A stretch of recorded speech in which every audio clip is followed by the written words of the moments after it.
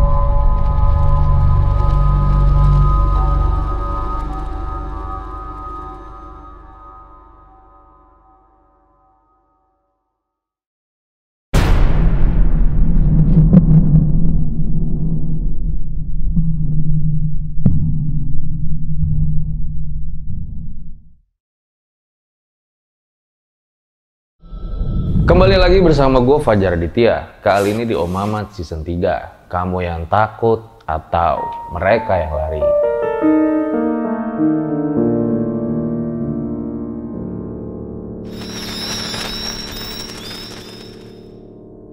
Jadi ini adalah part terakhir dari kisah Pak Alex. di mana dia harus kehilangan dua orang sahabatnya dalam pendakian Gunung Selamat tahun 1985. Buat kalian yang belum tonton part-part sebelumnya, tonton dulu sebelum masuk ke video ini agar mengerti jalan ceritanya. Bisa banget langsung aja klik link di atas ini.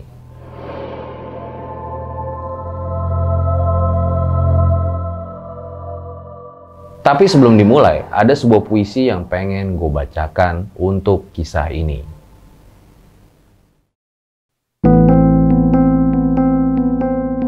Jauh-jauh ke Semarang, kami pulang membawa sebuah kisah. Pengalaman hidup yang tentunya tidak bisa dilupakan begitu saja. Kepergian dua orang sahabat dalam sebuah tragedi. Perjuangan terus dilakukan, tapi sayang, takdir berkata lain. Konflik, kejujuran dalam cinta segitiga yang kini tinggal kenangan. Biarlah cerita ini menjadi legenda, seiring waktu yang memudar.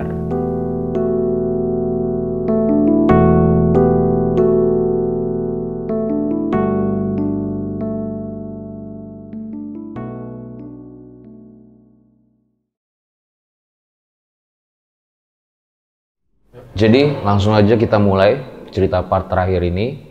Berikut adalah ceritanya.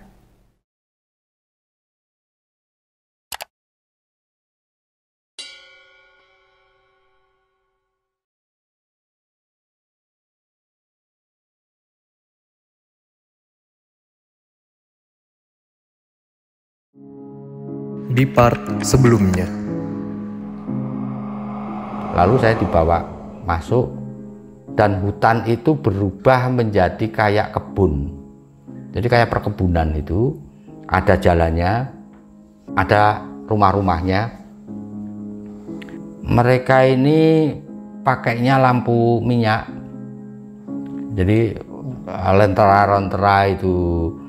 Jadi pada saat itu Pak Alex seperti melihat ada sebuah desa. Ya, jadi mula-mula saya digandeng menyusuri kebun. Menyusuri kebun terus mulai masuk desa.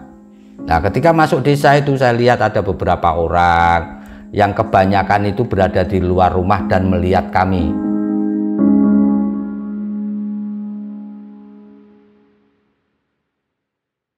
Orang-orang rasanya seperti, seperti itu. Seperti apa yang dilihat? Mereka itu pakai kebaya tapi bukan yang sampai nempel. Jadi sa- sampai sini aja dengan kebaya sederhana itu kebanyakan tidak pakai baju. Jadi kebanyakan di kemben begitu. Kalau yang cowok itu pakai pakaian kayak pakaian silat itu loh, pakaian tani itu loh. Itu kebanyakan lepas baju juga. Eh, ada pengawal, jadi ada ada yang kayaknya bertugas sebagai keamanan atau apa. Kenapa saya simpulkan begitu? Karena mereka bawa senjata. Kayak orang yang hidup di suatu desa yang terpencil, yang tidak Senjata apa? senjatanya golok, gitu, tombak ada tombak. Tapi saat itu Pak Alex gak ngajak ngobrol wanita itu. Enggak, dia yang ngobrol, dia yang ngomong bahwa intinya ayo kamu ikut aku. Gitu. Satu lagi adalah perubahan ketika saya melihat itu padahal peristiwanya kan malam. Tapi itu siang gitu. Jadi saya bisa melihat rumah-rumah itu meskipun siang mereka pakai lentera. Jadi makanya saya bilang ini mimpi atau halusinasi atau apa gitu. Saya nggak tahu. Nah, saya dibawa ke balai desa. Kenapa saya simpulkan sebagai balai desa? Karena ini lebih luas, ada joglonya, ada gapuranya di depan.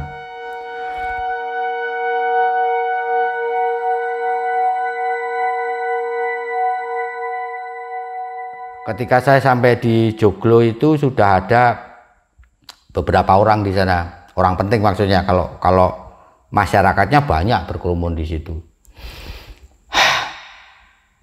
Yang jelas di situ ada kepala desanya. Kepala desanya perempuan. Kenapa saya bilang kepala desa karena mereka memanggilnya Bu Lurah. Kemudian ada penasehatnya. Penasehatnya itu pakai jubah kayak zaman Majapahit itu.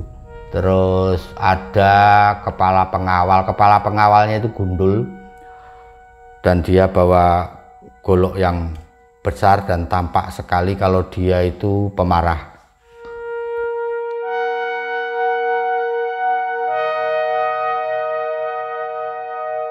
Intinya begini, sampai di sana saya disidang. Kenapa kamu masuk ke wilayah kami? Kenapa masuk ke desa kami? Saya jawab, bagaimana saya bisa tahu ini wilayah Anda? Bagi saya ini hanyalah hutan, pohon yang tidak ada bedanya saya mau ke kiri, ke kanan, ke mana pun sama saja. Jadi saya tidak melihat adanya desa. Kalau saya melihat adanya desa, tidak mungkin saya tidak minta izin.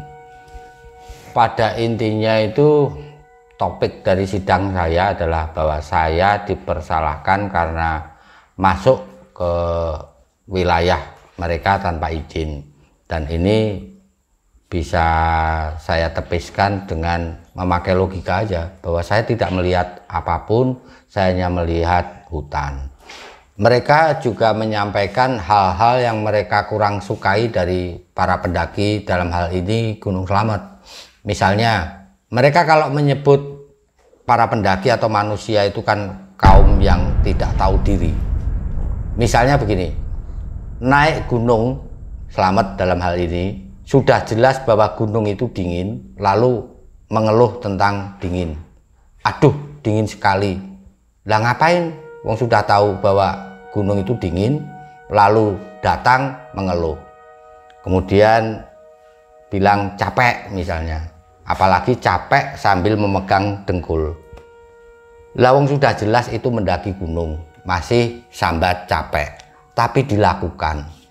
Belum lagi tentang perbuatan-perbuatan mesum apa-apa yang dilakukan uh, para pendaki.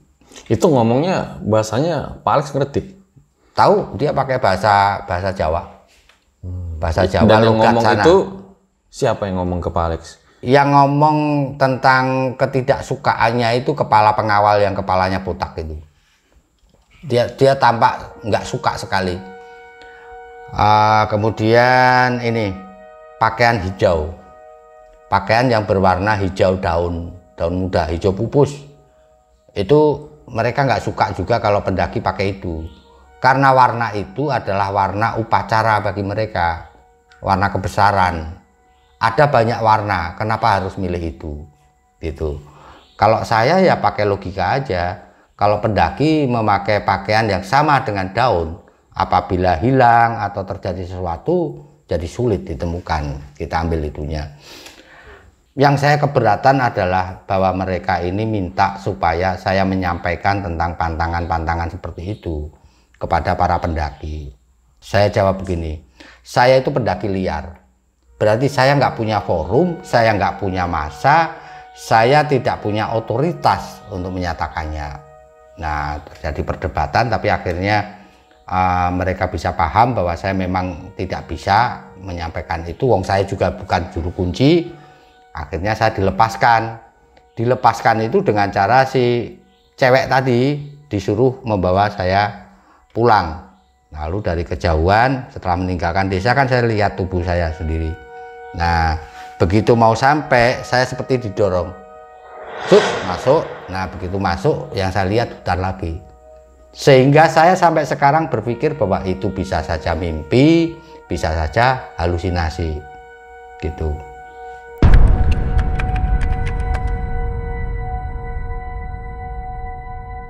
Paginya saya melanjutkan perjalanan dan salah satu motivasinya adalah saya pengen secepatnya meninggalkan tempat itu.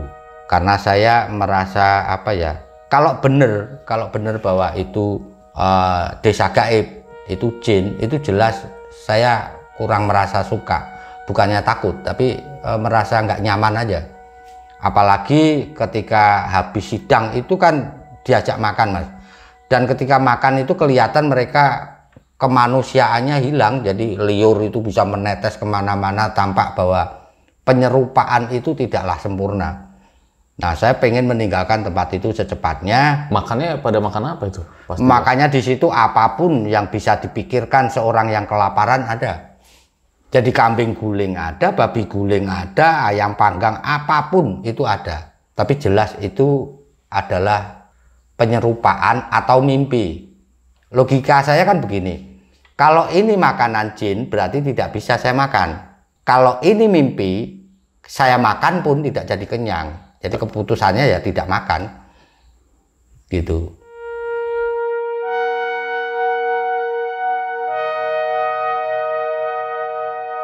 paginya saya jalan berarti ini hari ke-13 hari itu perasaan saya saya sudah meninggalkan tempat itu cukup jauh lalu saya sampai lagi pada satu curug atau jurang curug itu jurang yang kira-kira tingginya hampir sama dengan Curug Minger.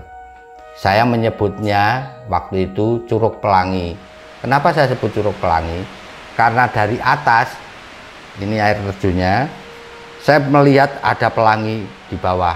Jadi saya di atas pelangi. Pemandangan di bawah itu begitu bagus. Lalu mulailah timbul pikiran yang sebenarnya asing bagi saya. Semacam begini, katanya kamu pendaki selalu siap mati.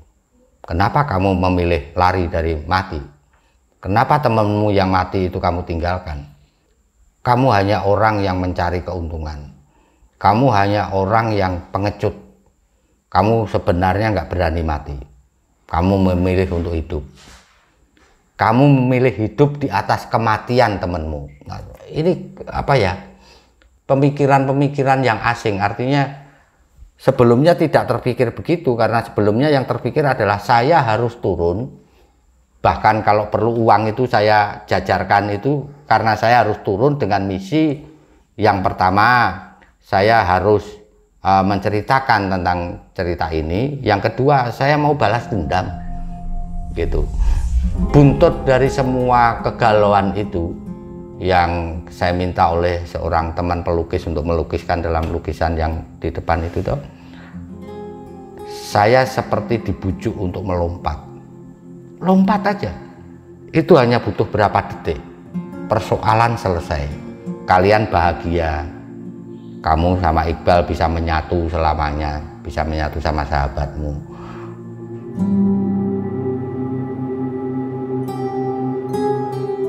Kalau kamu tidak melakukannya, kamu harus siap menjawab pertanyaan-pertanyaan. Siap menghadapi air mata ibunya, mungkin sampai histeris dan sebagainya dan sebagainya. Jadi pada saat itu mulai kencang pikiran untuk melompat, mengakhiri hidup. Iya. Jadi seolah-olah hanya sekian detik lalu soalnya selesai. Saya masih ingat sampai saat ini kata-kata yang saya pakai untuk saya nggak tahu ini ini bujukan iblis atau sebenarnya muncul dari hati saya sendiri saya nggak tahu. Tapi saya patahkan itu dengan kata-kata yang sampai sekarang jadi pedoman hidup saya. Oke, naik gunung itu teken kontrak mati. Tapi waktu teken itu saya lupa mencantumkan tanggalnya. Artinya begini loh, ya oke saya siap mati, tapi bukan berarti terus hari ini gitu loh. Kapan pun itu ya saya siap, tapi saya akan mencoba tetap hidup. Untuk itulah Tuhan menciptakan orang itu hidup kan begitu. Ya, lagi-lagi ingatan saya terpotong. Jadi saya nggak tahu bagaimana caranya menuruni Curug Pelangi yang belakangan uh, dikonfirmasi oleh salah satu penduduk di sana itu sekarang menjadi salah satu objek wisata baru di sana. Namanya Curug Tembelang. Sekarang ini jadi tempat wisata. Meskipun aksesnya masih agak sulit. Saya turun. Nah ketika turun itu hari sudah terlalu sore jadi saya nggak ingat caranya. Turun saya ingat sudah ada di bawah kemudian karena sudah terlalu gelap saya putuskan tidur di situ. Nah setelah tidur itu terjadi hal yang sama. Padahal saya berpikir saya sudah meninggalkan uh, desa gaib itu uh, cukup jauh. Jadi awalnya suara tonggeret berubah menjadi suara burung berubah menjadi suara perempuan antara tangis atau tawa lalu ada kain menjatuhi saya lalu saya digandeng. Tapi suasananya beda kalau yang sebelumnya itu orang seperti melihat saya itu seperti curiga seperti apa yang yang kedua ini orang melihat saya seperti menyambut. Dan kemudian ada janur tahu ya jadi ini daun kelapa yang muda itu pada pada dipakai untuk hiasan. Dan perempuan yang menggandeng saya itu mengatakan bahwa bulurah mau punya kerja mantu tapi saya tidak pernah menyangka bahwa mantunya itu saya sama sekali jadi wah ini berarti aku dipaksa untuk menghadiri acara apa penganten gitu ya nah begitu sampai di balai desa barulah bulurah ngomong hari ini saya harus menikahkan anak saya. Tidak bisa tidak, pokoknya hari ini. Kamu siap nggak jadi pengantin laki-laki? Perasaannya campur aduk, jadi antara kalau mau menolak si kepala pengawal si botak ini sudah melihat saya dengan gelagat sangat nggak suka. Sejak kemarin kan dia nggak suka. Saya harus menemukan kalimat untuk membuat saya bisa selamat tetapi mereka tidak marah. Lalu saya bilang begini ada nggak di antara kalian yang menikah dengan pohon? Marah dia. Si pengawal ini marah. Kamu itu menghina. Mana ada kami menikah sama pohon? Ada gak yang menikah sama binatang? Nggak. ada. Kami yang menikah dengan kalangan kami atau manusia. Sama dengan saya. Saya tidak bisa menikah dengan yang tidak sejenis. Dan kalian itu bukan dari jenis kami jadi saya tidak bilang saya tidak mencintai saya tidak bilang pengantin putrinya nggak cantik. Tapi kita ini itu beda gitu. Nah akhirnya karena Bu Lurah ini punya penasihat yang tua yang tadi saya ceritakan pakai pakaian serba putih dan pakai semacam sorban itu dia bilang ini masuk akal kok jadi penjelasan dia penolakan dia itu itu tidak bisa uh, kita paksa. Jadi prinsipnya seperti itu. Terus Bu Lurah manggil anaknya yang mau dijadikan mantu itu uh, dijadikan manten. Kamu ke sini. Uh, hari ini kan kamu harus menikah. Ini mempelai prianya itu menolak, apa kamu punya calon yang lain? Dia bilang punya. Ya sudah, kalau gitu kamu boleh lepas. Saya dilepaskan lagi. Pada saat itu boleh digambarin nggak Pak Alex? Bulurahnya kayak gimana? Anak yang mau dinikahin kayak gimana? Anaknya itu sudah pakai pakaian kayak pengantin itu, tapi pengantinnya tidak pakai pakaian lengkap. Jadi dia pakai kemben. Tapi ini pakai sanggul. Ini pakai sanggul terus ada apa itu namanya? Kalau di Jawa dibilang sunduk mentul itulah. Tusuk konde. Ah, tusuk konde. Tapi yang yang gerak-gerak itu, itu jadi ciri khas orang kalau mau jadi manten di Jawa. Gitu. Ah, pakai itu. Kalau bulurahnya? Bulurah pakai ini baju. Jadi pakai jarik, tapi yang kemarin kan dia cuma pakai ini kemben itu. Lah yang waktu mau mantenan itu dia pakai baju itu. Baju? Pakai baju Jawa itu toh. Baju Jawa yang yang untuk kalau orang pakai adat tradisional Jawa itu loh. Itu kan pakai baju yang bisa tembus pandang itu toh. Jadi kayak renda-renda itu loh. Kayak kebaya. Ah ya, itu. Pada waktu pulang ini si cewek yang nganterin itu bilang, intinya apa kamu nggak mau kita bantu untuk bisa keluar dari hutan ini. Yang saya tersinggung itu adalah mereka bilang begini, bahwa kegalauan saya yang tadi saya ceritakan hampir bunuh diri itu bagi mereka saya dianggap lolos ujian. Seketika saya berpikir bahwa bisikan-bisikan untuk bunuh diri itu itu dari mereka.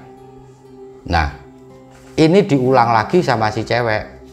Jadi intinya begini, dia meyakinkan saya tanpa campur tangan mereka, saya nggak akan selamat. Nah, sudah habis itu saya didorong masuk. Nah, ketika saya bangun, yang ada itu perasaan protes, marah karena waktu diambil itu sebenarnya saya pengen melawan, tapi apa ya, kayak niat melawannya itu hilang. Tapi begitu dimasukkan lagi ke badan, eh, niat melawan ini jadi kuat lagi. Jadi akibatnya yang saya pukuli, saya tendang itu pohon. Padahal nggak salah pohon. Iya, pokoknya nggak salah. Intinya begini, eh, mereka bilang bahwa mereka tahu eh, teman saya mati. Mereka juga tahu yang satu masih mencari bantuan. Sebenarnya kan saya bisa tanya, itu di mana gitu. Tapi untuk bertanya itu, itu ada semacam apa ya mas? Semacam harga diri.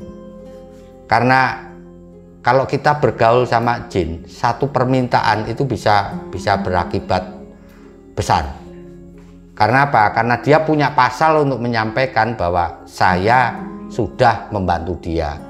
Kamu juga berarti eh, dia yang bersangkutan ini juga harus membantu saya. Nah, membantu sayanya ini yang tidak jelas. Balik lagi tipu daya jin ya. Ya, itu termasuk. Tapi ini eh, unik juga ya Pak Alex ya. Di awal tadi Pak Alex bilang sering melihat hantu, daya. Ya, tapi ketika tersesat udah sampai 13 hari ini, nggak pernah melihat hantu sama sekali, kecuali yang di desa gaib. Ya, itulah yang yang saya katakan sejak awal, sejak di Samarantu itu saya merasa seperti ditelanjangi.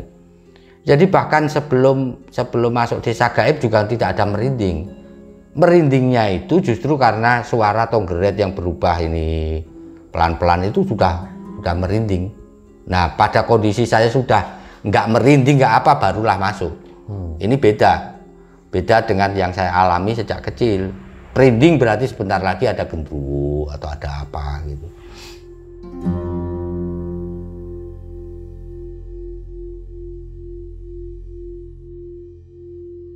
Buat kalian yang punya pengalaman horor nyata, bisa kirim cerita kalian ke email rj5 atau DM Instagram rj5.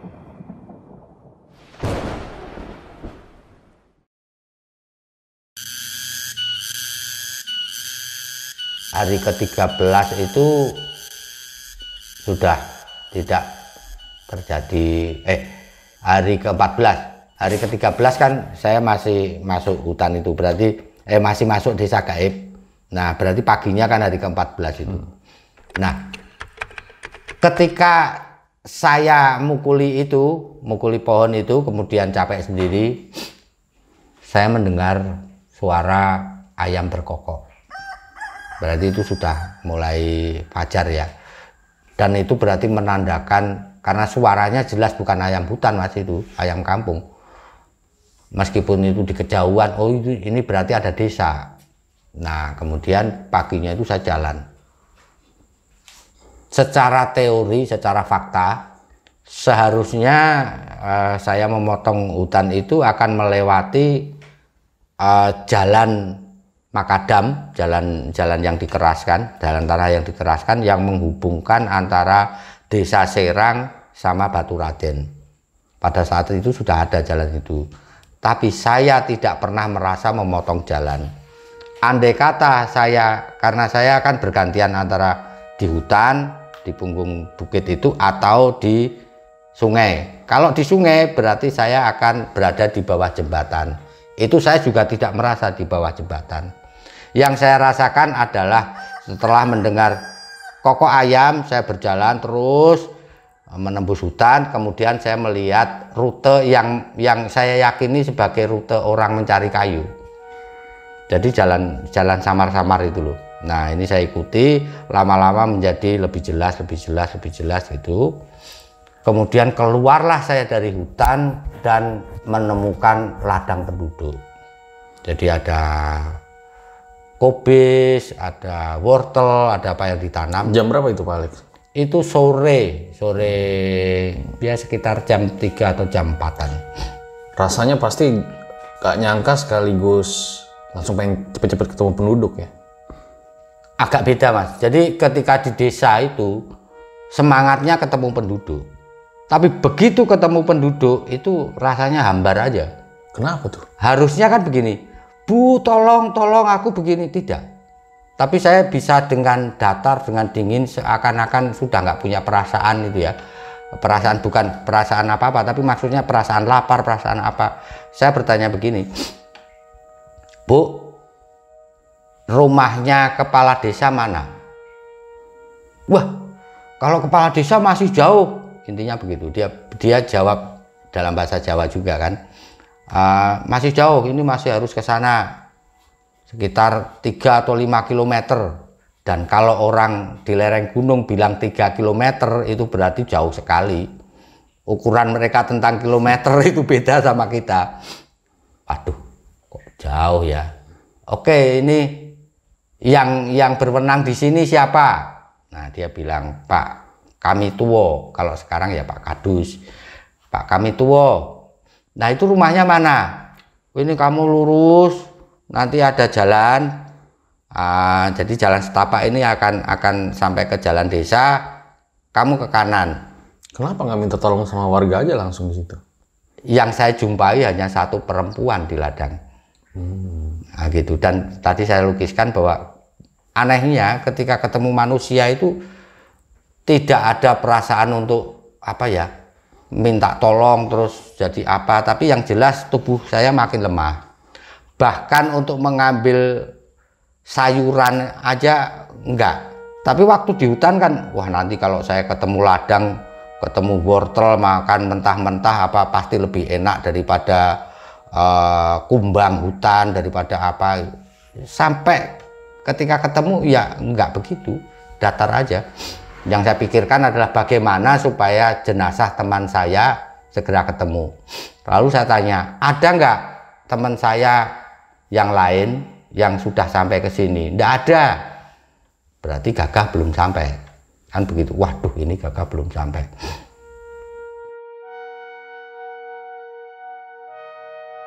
Hal lain yang saya tanyakan adalah warung.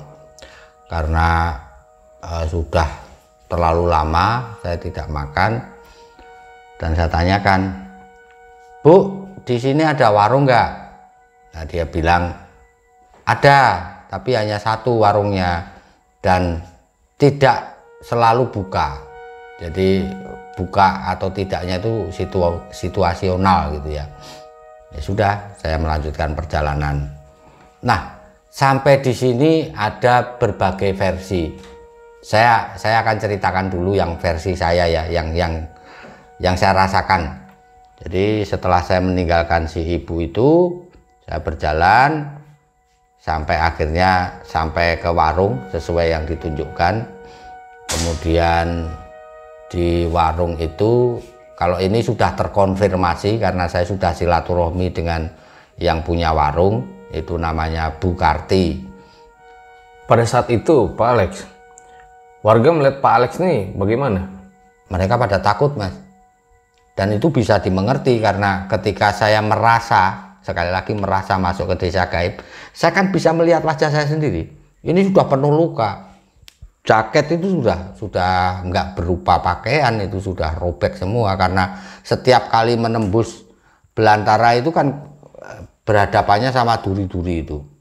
Kemudian selain itu juga perubahan antara panas dan dingin yang terus menerus ini membuat seluruh muka ini kan gosong kehitaman gitu. Dan pada masa itu kan masih musim Petrus. Jadi Petrus itu semacam petugas yang diberi wewenang untuk menghabisi para penjahat. Nah, para penjahat ini cara menghabisinya macam-macam. Salah satunya dibawa ke hutan untuk dihabisi di sana. Nah, mungkin penduduk melihat saya yang berjalannya sudah sudah sangat lambat, terhuyung-huyung, muka berantakan. Kalau menurut uh, cerita dari Pak mantan uh, Sekdes, mantan Cari, yang dipikirkan penduduk itu adalah bahwa saya salah satu korban Petrus itu. Yang masih selamat. Yang masih selamat, yang ternyata ditinggal dalam keadaan masih hidup. Sama sekali mereka tidak punya pemikiran tentang bahwa saya pendaki karena itu bukan rute pendakian jadi desa itu kan desa acak yang bisa dicapai ketika orang menerobos hutan gitu setelah makan itu justru badan itu jadi lemes jadi lemes tapi saya ingat bahwa saya harus lapor saya minta untuk diantarkan tolong diantarkan jadi untuk mau mengantarkan aja mereka takut-takut dan saya ditinggal karena jalan saya terlalu pelan. Ini versi saya loh mas, sekali lagi versi saya. Jadi saya bahkan sempat mengeluh supaya jalannya jangan cepat-cepat. Kaki saya ini bengkak semua. Oke, dari situ saya diantarkan sampai ke rumah Pak Kadus. Nah, di sana saya lapor, begitu dengar bahwa teman saya yang satu meninggal, yang satu masih belum sampai, marah dia intinya kenapa harus turun ke desa ini? Ya saya, saya bilang ya saya nggak tahu. Desa apa pun yang bisa saya capai wah kamu itu cuma merepotkan intinya seperti itu. Sekali lagi saya tidak menyalahkan. Ini wajar. Karena otomatis uh, ini juga saya kira pembelajaran buat teman-teman. Ketika kita mengalami musibah maka desa tempat kita uh, datangi yang pertama itu pasti akan ikut repot pasti. Dan itu saya sadari. Jadi uh, dimarah-marahi pun oke okay, saya siap. Nggak apa-apa. Akhirnya saya disuruh tidur di kursi yang dibuat kursi panjang yang dibuat dari kayu nangka. Nah sementara itu Pak Kadus ini Pak Kami Tuwo ini turun. Masih jauh sampai ke kelurahan. Malam-malam itu dia turun. Nah sampai di kelurahan dugaan saya dugaan saya ya dia dimarahin. Karena saya ini sudah dicari lama. Kenapa saya simpulkan begitu? Karena begitu dia balik paginya itu sudah berubah. Jadi kalau tadinya isinya marah toh besoknya itu intinya adalah bagaimana ini anak segera sampai ke balai desa. Karena ini sudah dicari hmm. orang secara nasional gitu loh. Sudah dikerahkan pencarian. Tapi pencariannya kan tidak lewat situ pencariannya kan lewat Bambangan. Dan itu terpisah jauh desanya jauh. Ya dari sana karena saya sudah benar-benar nggak bisa jalan saya harus ditandu sampai ke kelurahan. Berapa waktunya tuh sampai? Kalau itu saya sudah benar-benar nggak ingat karena sudah terpingsan-pingsan. Jadi itulah ketika kita masih berada di hutan berhadapan dengan bahaya power kita yang di dalam tuh muncul tapi begitu sudah ketemu sama bantuan ya jadi kadang sadar saya lihat pohon-pohonan bergerak saya tahu saya digendong pakai kursi itu tapi terus gelap lagi. Sampai kemudian di desa sampai di desa saya dibawa pakai ambulan ke rumah sakit. Waktu itu rumah sakit Trenggiling namanya. Oh, Nah sekarang jadi rumah sakit umum Purbalingga gitu. Nah sampai di sana kemudian sepatu saya karena kaki itu bengkak, sepatu itu untuk melepaskan sampai harus digunting. sepatunya. Iya sepatu PDL itu digunting kemudian ya saya ditangani secara medis. Direktur rumah sakitnya saya masih ingat namanya Ibu Siti Rohmah. Nah itu versi saya berkembang juga versi dari eh, menantunya Pak Kadus yang bilang bahwa dia yang menemukan saya karena disuruh sama eh, mertuanya. Jadi mertuanya melihat ada orang yang pingsan di hutan, kemudian dia pulang cerita sama menantunya disuruh membawa saya menggendong. Nah, versi lain datang dari Bukarti itu. Bukarti itu bilang bahwa orang yang pertama dia temui, ya saya temui, itu dia. Jadi di, di ladang tadi saya ketemu sama dia eh, yang bilang bahwa warungnya di sana ter- eh, sebenarnya dia sendiri yang punya warung, kemudian dia menyalip saya. Jadi dia menyusul saya, menyalip saya karena jalan saya pelan-pelan. Ketika eh, dia menyalip saya, dia melihat saya itu pingsan. Lalu dia minta tolong sama eh, suaminya. Nah, suaminya ini datang terus menggendong saya. Begitu. Nah, jadi ada beberapa versi. Saya tidak membenarkan salah satunya karena buktinya apa? Saya turun dari jurang aja saya nggak ingat caranya kok. Jadi mungkin saja waktu itu yang terjadi bukan seperti yang saya pikirkan ya. Dan versi mana pun saya tetap merasa punya hutang histori, hutang ah, apa ya, hutang budi sama masyarakat Limbah Tepus. Sekalipun pada waktu itu mereka takut. Karena apa? Takutnya kan juga beralasan. Karena- Wajar. Iya wajar gitu. Bukan karena tidak ingin menolong. Buktinya apa? Paginya saya ditandu. Berarti kan mereka memang ah, ingin menolong juga. Cuma nggak tahu kan gitu kembali ke Bu Siti Romah ini yang saya apresiasi sampai sekarang adalah um, setelah melakukan berbagai pendekatan medis seperti memeriksa feses dan sebagainya begitu teman-teman saya mulai tahu dan berdatangan dia tanya salah satu teman si Alek ini dalam keadaan depresi dalam keadaan depresi Ah, menurut Anda apa yang bisa memulihkan depresinya? Lalu teman saya bilang, Alek itu penggemar berat musik rock. Jadi kalau dia di, diberi kesempatan untuk bisa dengerin musik rock, mungkin bisa segera kembali. Nah, Ibu Siti Rohmah itu kemudian menyediakan satu ruang khusus untuk saya, ruang kiri dan kanan itu dikosongkan.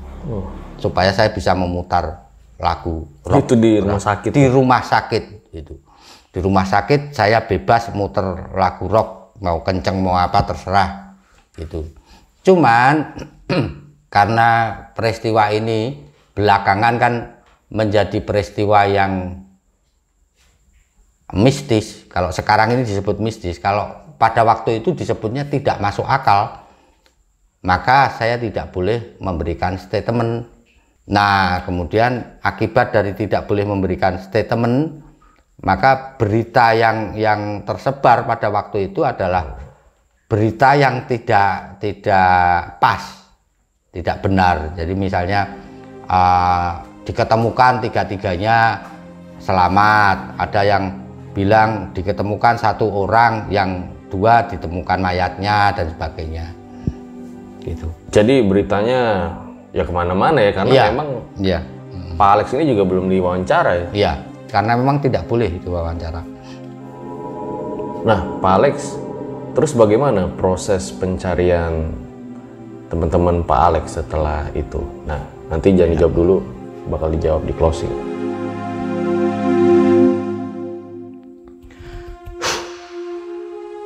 saya menunggu empat hari sejak si Iqbal ini bantuan tidak datang. Dan Iqbal meninggal. Kira-kira jam 7 malam saya mulai mendengar dia bersuara lagi. Tapi yang dikatakannya sudah beda. Saya gagah. Teman saya Iqbal Latif mati.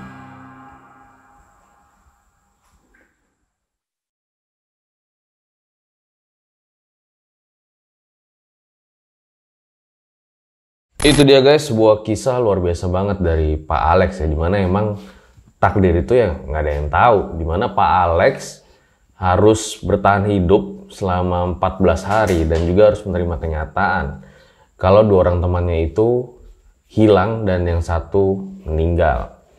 Sebelum selesai ini bakal banyak banget pertanyaan di closing karena memang juga pencarian tim SARnya kan belum diceritain nih sama Pak Alex. Jadi pada saat itu ketika Pak Alex hilang sama Gagah dan juga Iqbal, Ya, itu tim SAR sudah mencari. ya kita mencari. Jadi pencarian ini kan sebenarnya ada ada dua alur. Jadi yang pertama pihak UPL tadi yang saya ceritakan pecinta alam dari Unsut yang uh, bareng mendaki tapi kok saya tidak turun-turun dan KTP saya kan ditinggal di di desa. Nah, yang kedua, pihak yang kedua itu justru dari keluarganya si Gagah pribadi yang rumahnya Cibarang. Jadi setelah dua hari ditunggu kok tidak pulang, ibunya mulai gelisah. Nah, ibu dan adiknya ini kemudian kedatangan tamu. Tamu ini adalah temennya si Gagah yang pernah mendaki Gunung Slamet. Nah, sebelum kami berangkat, saya bilang pada Gagah, kalau ada barang yang terlalu banyak, kamu tinggal aja. Nah, kemudian ya sudah nanti tak titipkan aja di rumah temen, rumahnya di Purwokerto. Nah, itu dititipkan di situ. Nah, dia tunggu loh, kok barangnya nggak diambil, maka dia datang ke rumahnya si keluarganya Gagah. Dia tanya, Gagah mana? Loh, kan naik gunung. Iya, barangnya dititipkan ke saya, tapi kok belum diambil. Setahu saya kalau mendaki Gunung Slamet, dua hari ya sudah pulang. Nah, gitu. Mulai gelisah lah itu. Nah, ketika mereka dalam keadaan mulai gelisah, dan mereka ini bukan bukan dari kalangan pendaki ya, jadi tidak tahu harus berbuat apa. Pada suatu hari, ada dua laki-laki yang dari peralatannya jelas tampak bahwa dia habis mendaki berada di depan rumah mau mencegat kendaraan. Rumah siapa nih? rumah ini adiknya adiknya si Gagah. Oh beda sama Ya. rumah orang tuanya beda. bukan bukan. Kalau rumah orang tuanya tidak berada di tepi jalan. Ini salah satu rumah keluarganya yang berada di tepi jalan besar. Jadi kayak orang mau mencegat bis tetapi kok lama gitu loh Mhm. Jadi ada bis lewat juga diam aja, nggak di ini, nggak di, dinaikin. Jadi seperti memancing perhatian. Hmm. Nah, akhirnya kan karena memang penasaran, ini dipanggil, dibawa masuk, diajak makan. Nah, ditanya dari mana? Dari Gunung Slamet. Oh, dari Gunung Slamet. Nah, kebetulan keluarga kami juga ada yang mendaki Gunung Slamet tapi belum turun. Itu tiga orang. Oh, ketemu saya di puncak. Nah, dia ceritakan kondisi kami itu persis faktanya. Jadi mereka kedinginan di puncak, mereka bikin api dari parafin, itu semuanya diceritakan. Kemudian yang satu rambutnya ikal itu kan saya, itu yang paling kecil, yang satu eh, pakai jaket eh, merah coklat itu si Gagah, yang satu pakai kacamata itu si Iqbal. Dan mereka bilang bahwa mereka akan turun pada hari X itu ya. Nah, Kemudian uh, mereka bilang begini, kalau pada hari X itu dia tidak turun, saya dihubungi. Ini alamat dan nomor telepon saya. Saya akan bantu mencari. Nah, ketika hari X-nya belum tiba, jadi hari X yang disebutkan itu sama seperti ketika saya turun, jadi hari ke-14.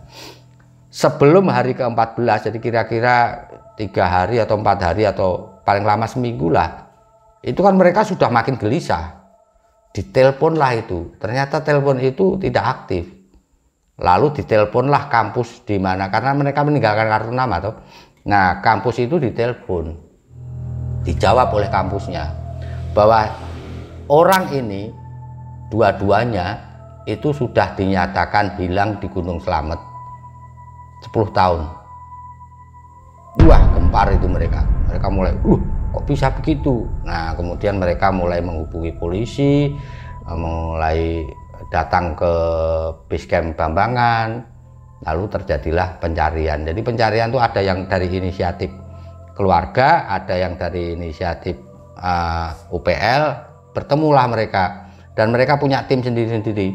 Jadi aparat punya keluarganya gagah ini selain berharap dari tim formal mereka juga membentuk uh, regu untuk mencari. Dan menurut kesaksian mereka mereka nggak bisa lagi menghitung berapa yang sudah habis. Pencarian oleh keluarga itu bahkan setelah pencarian formal dihentikan itu masih dilakukan. Bahkan dengan mengambil uh, menyewa tim pencari tim SAR tim SAR independen dari Jakarta. Jadi total berapa hari itu pencarian dilakukan? Pencarian itu dilakukan berapa ya? Eh, dua mingguan mungkin atau lebih ya. Saya kurang-kurang ingat, tapi uh, seingat saya ada ada yang menyatakan bahwa Pak Kapolda waktu itu namanya Pak Sunario. Pak Sunario itu waktu dia menengok ke rumah sakit kan dia mengajak saya ke Batu Raden. Dia menyatakan bahwa saya itu sudah cukup merepotkan karena pencarian itu dilakukan sampai melebihi standar standar pencarian waktu itu. Nah standar pencarian waktu itu adalah dua minggu, berarti ini lebih dari dua minggu, gitu. Dan setelah Pak Alex ditemuin, apa masih dicari lagi tuh? Oleh keluarganya Gagah masih. Nah, hmm yang waktu saya ketemu sampai di rumah sakit kan di rumah sakit dibikin semacam posko karena harus mencari dua teman saya gitu.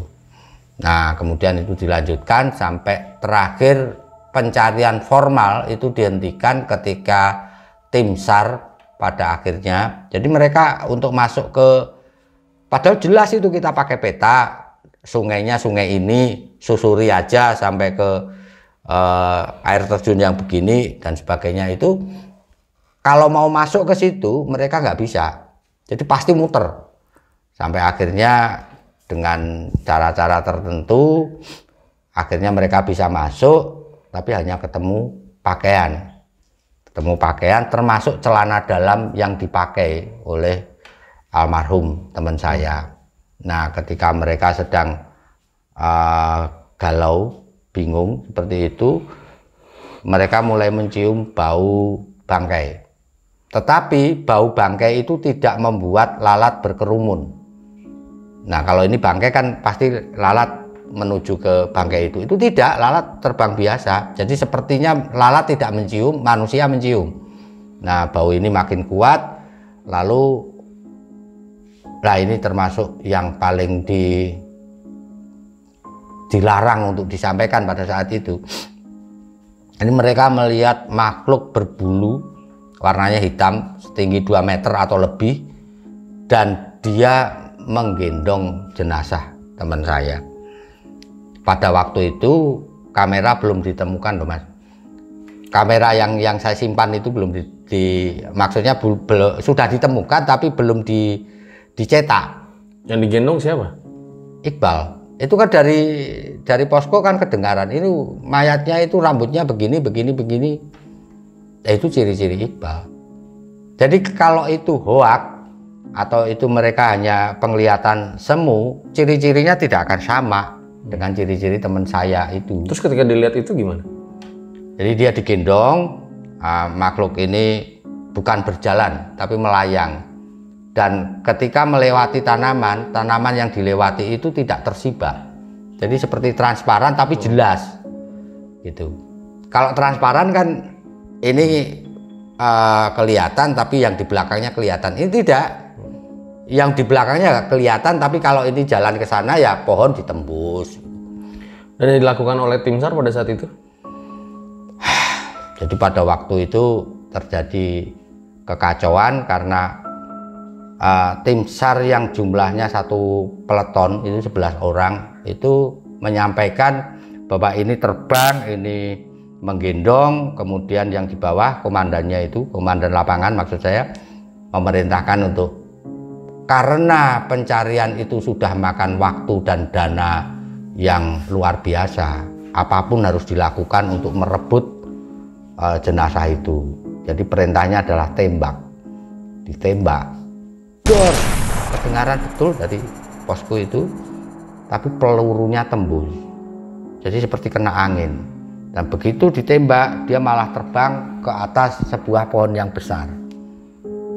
Dengan tetap menimang jenazah uh, teman saya itu.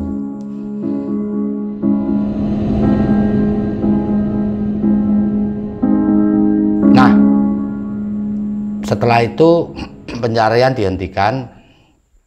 Kemudian saya ditemui secara khusus malam-malam dan diminta untuk tidak menyampaikan statement apa pun tentang musibah kami. Jadi tolonglah untuk berhenti membuat membuat apa ya? membuat chaos, membuat kacauan dengan cara diam. Hmm. Itu. Sebentar Pak, ini saya udah mulai nggak connect nih. Maklum ya, ini udah mau setengah tiga pagi nih. Jadi pada saat itu intinya dua jenazah dari teman Pak Alex nggak diketemukan. Sampai sekarang nggak ketemu.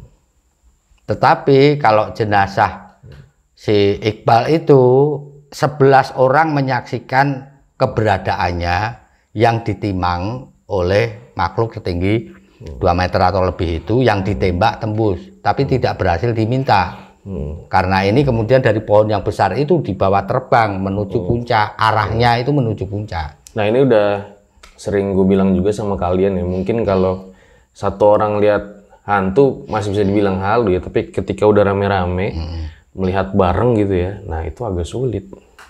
11 orang, hmm. dan itu siang. Dan mereka melihat semua kalau Iqbal digendong sama ya. makhluk tersebut. Iya, betul. Karena pada akhirnya kameranya itu berhasil ditemukan kan? Iya, kamera itu ditemukan. Karena jenazah Iqbalnya nggak ada. Nggak ada. Dan tulang belulangnya pun? Sampai sekarang tidak tidak ada. Kalau secara logika misalnya ya dimakan hewan buas gitu ya, hmm. harusnya kan masih ada tulangnya. Bukan hanya itu. Hmm. Kalau itu dimakan binatang buas, maka pakaian yang dia pakai ketika meninggal itu pasti tercabik. Hmm. Itu tidak tercabik. Jadi yang hanya ditinggal itu hanya kamera aja, tas kameranya. Iya. Dan foto-fotonya masih banyak dong. Iya, itu yang membuktikan bahwa saya sampai ke puncak, kemudian terjadi musibah dan sebagainya itu kan dari awal ketika saya turun, saya itu dicurigai tidak sampai ke puncak. Jadi kecurigaan itu bahkan sampai ke tingkat yang irasional. Jadi saya penganut ilmu hitam yang membawa teman saya pura-pura mendaki Gunung Slamet, saya bawa ke hutan, saya tumbalkan gitu.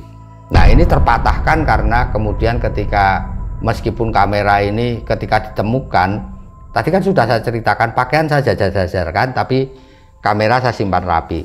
Diketemukannya itu seperti ini seperti diobrak-abrik. Nah, waktu itu timbul macam-macam dugaan termasuk bahwa Iqbal itu mati suri dan ketika dia sadar tidak menemukan saya dia mengamuk gitu. Oke lah apa pun bisa bisa terjadi ya. Tapi yang jelas kamera itu menjadi rusak uh, lensanya pecah dan terendam dalam kubangan air. Ini pertaruhan saya. Kalau itu bisa dicetak maka akan terbukti bahwa memang terjadi kecelakaan. Kan uh, hari demi hari kan saya ambil terus itu. Untungnya masih bisa. Iya, hanya meskipun hanya satu jepretan karena uh, sebagian besar kan sudah habis untuk di puncak, hmm. separuh lah kira-kira. Dan mungkin ini nggak nggak banyak kali ya, karena udah pagi juga nih. Iya, iya. Hmm. Apa yang Pak Alex omongkan pertama kali dengan orang tua Iqbal? Ya saya sampaikan bahwa kami mendapatkan musibah yang pada intinya ya yang mengakibatkan bahwa Iqbal gugur. Reaksi dari orang tuanya? Itu yang sampai sekarang membuat saya sedih. Kenapa kamu turun sendiri? Kenapa tidak kamu seret saja jenazah temanmu? Saya sulit menerangkan bagaimana kondisi hutan yang benar-benar tidak pernah terjamah manusia. Membawa badan sendiri susah apalagi membawa mayat temen. Sekarang bayangkan jurang yang yang tinggi ya, saya nggak bisa turun. Apa iya ini mayat saya gelundungkan begitu? Yang tega siapa? Sementara saya yakin bahwa saya bisa sampai desa dan saya bisa membawa uh, bantuan ke sana. Yang tidak saya perkirakan sejak awal adalah bahwa jenazah bisa hilang gitu loh. Tapi ketika disampaikan seperti itu kan si ibu ini kalau kami menyebutnya kan emak tetap ya ini wajar sekali. Kurang puas gitu. Dan itu yang membuat salah satu yang membuat saya kemudian memutuskan untuk agak menjauh. Jadi agak memutus silaturahmi meskipun saya masih connect dengan kakaknya Iqbal. Karena kebetulan kakaknya bertugas jadi guru di SMA negeri di sini. Jadi setiap kali pencarian kan sehabis musibah itu saya mencari teman saya setiap tahun itu tujuh kali. Jadi dalam tujuh tahun saya terus mencari teman saya. Yang saya hubungi si kakak tertua ini. Saya tidak berani berhadapan sama ibunya. Ya mungkin wajar lah namanya ya. seorang ibu ya. Iya betul. Sudah membesarkan anaknya tahu-tahu meninggal dengan cara seperti itu dan bahkan jasadnya tidak bisa ditemukan. Iya dan bagaimana dengan orang tua gagah Orang tua Gagah itu karena rumahnya di Aji Barang, tapi kakaknya itu ada yang tinggal di Semarang. Saya tidak ke sana, saya tidak ke Aji Barang, tapi orang tuanya Gagah yang menemui saya. Jadi datang ke rumahnya, kemudian datang ke kos-kosan saya untuk mendengarkan kisah saya uh, dan ya mereka bisa menerima intinya seperti itu. Cuman karena saya ke sana itu baru sekali ketika saya berkesempatan untuk melatih karate di Purwokerto dan terpikir untuk datang ke Aji Barang, saya nggak bisa menemukan tempatnya. Saya bisa bersilaturahmi lagi ya karena YouTube. Jadi ada keluarganya yang kemudian... Oh jadi selama ini belum pernah ketemu sama orang tuanya? Baru dari YouTube aja? Iya, jadi setelah dari YouTube itu baru saya bersilaturahmi, bisa bersilaturahmi ke rumahnya. Hmm. Gitu dan kemudian dari sana juga datang ke Purwodadi juga. Gitu. Jadi YouTube ini punya andil besar dalam menjalin silaturahmi lagi. Saya juga berkesempatan untuk uh, kembali mengunjungi emak atau ibunya si Iqbal. Yang paling berat itu ini ketika saya harus menyampaikan pesan-pesannya Iqbal ada beberapa pesan itu. Nah salah satunya adalah meminta maaf pada ibunya bahwa dia belum bisa berbakti. Uh, itu menyampaikannya susah sekali sulit sekali karena saya melihat apa ya si ibu ini seperti seperti meratap dan mengatakan bukan itu yang aku inginkan tapi kamu pulang gitu loh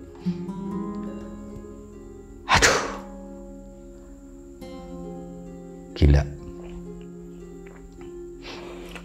Dan setelahnya Bang Alex trauma tapi masih mendaki gunung lagi ya setelahnya? Ya pendakian selamat ini membuat saya punya banyak trauma ya yang yang paling krusial yang kemudian saya berusaha mengatasi dan syukurlah bisa itu tentang Tuhan. Saya menganggap Tuhan itu tidak adil. Tuhan itu begitu kejamnya sehingga ungkapan saya waktu itu adalah seakan-akan mati saja tidak cukup. Mati kecelakaan itu nggak cukup, tapi harus hilang. Tidak diketahui sampai sekarang. bahkan sepotong tulang pun yang saya minta dalam doa setiap saat supaya saya dan keluarganya bisa menguburkan saja tidak diperkenankan. Nah, ini yang kemudian dengan susah payah bisa saya atasi uh, salah satunya dengan cara belajar meditasi pada seorang uh, biksu di Ungaran. Nah, trauma yang lain itu saya menjadi orang yang aneh, Mas. Jadi seturun seturun dari Gunung Slamet itu saya merasa kayak terasing dari orang. Uh, salah satu dampaknya itu menyeberang. Jadi kalau saya harus menyeberang jalan yang ramai, saya nggak bisa. Itu saya begitu nervous. Kemudian menghadiri pertemuan misalnya hajatan ya, yang banyak orang dan sebagainya, saya bisa menjadi sangat gelisah. Tetapi kalau saya berada di hutan, mau berapa hari pun, hmm. saya nyaman. Berapa lama mengalami hal tersebut? puluhan tahun untuk yang nyebrang. Jadi nggak bisa nyebrang dong? Nggak bisa. Jadi kalau mau nyebrang sendirian, saya pasti nggak bisa. Jadi. Tapi kalau nyebrang naik kendaraan nggak apa-apa? Nggak apa-apa. kalau jalan sini, kaki aja? Ya kalau jalan kaki. Jadi melihat kendaraan yang wus wus wus itu bisa takut dan hmm. orang yang nggak kenal pun bisa saya pegang untuk untuk ini memberikan rasa aman. Tapi hingga akhirnya sekarang udah kembali normal ya Pak? Iya, salah satu yang bikin normal itu ah, punya anak yang kecil itu yang yang memang harus kita lindungi. Tapi ya lagi-lagi luar biasa ya Pak Alex ya. Walaupun mengalami kejadian seperti ini tetap mendaki gunung karena memang itu kesukaannya, hobinya. Ya, Dan ya, ya. sudah banyak sekali gunung yang didaki setelah kejadian ini juga. Iya. Jadi gue rasa cukup demikian ya episode Mamat pada kali ini. Makasih banyak Pak Alex telah bersedia bercerita di RJ5 maaf nih kalau ngerepotin enggak sampai setengah tiga pagi loh nih. ini demi kalian nih jangan lupa juga subscribe ke channel Pak Alex apa channelnya Pak?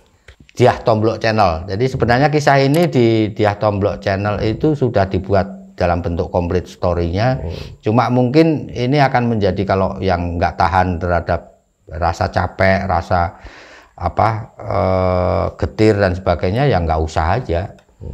Udah ini ini ringkasannya ya ini. Tapi kalau mau detailnya sebenarnya gejolaknya seperti apa ya itu ada di dia Tomblok Channel nanti istri. linknya gue taruh di deskripsi. Sekali lagi makasih Pak Alex. Sama-sama. Ambil baiknya buang buruknya. Dengan adanya cerita-cerita seperti ini jangan malah menjadikan kalian takut. Akan tetapi kalian harus semakin yakin dan percaya dengan kebesarannya. Gue Fajar Aditya, Pak Alex RJ5 undur diri. Ciao.